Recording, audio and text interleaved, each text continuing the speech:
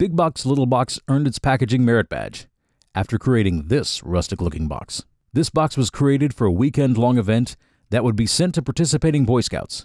It included an itinerary of everything that was planned for the weekend and a shooting vest.